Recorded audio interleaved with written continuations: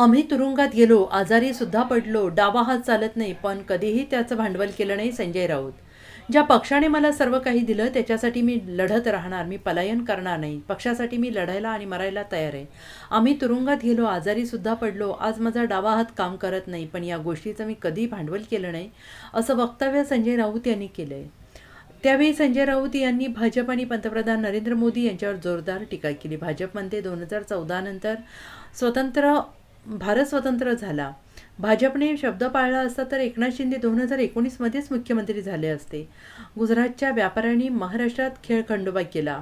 असं संजय राऊत यांनी म्हटलेलं आहे. सध्या पंतप्रधान मोदी तिसऱ्यांदाच पुन्हा सत्तेवर येणार. अशी हवा असली तरी त्याबद्दल कोणालाही खात्री नाही. स्वतः पंतप्रधान नरेंद्र मोदी भाजपच्या विजयाची खात्री देऊ शकत नाहीत.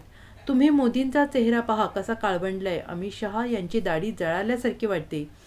अमित शहा आत्मविश्वासाने जिंकण्याची भाषा करत आहेत पण घाबरलेल्या माणसाकडेच अति आत्मविश्वास असतो.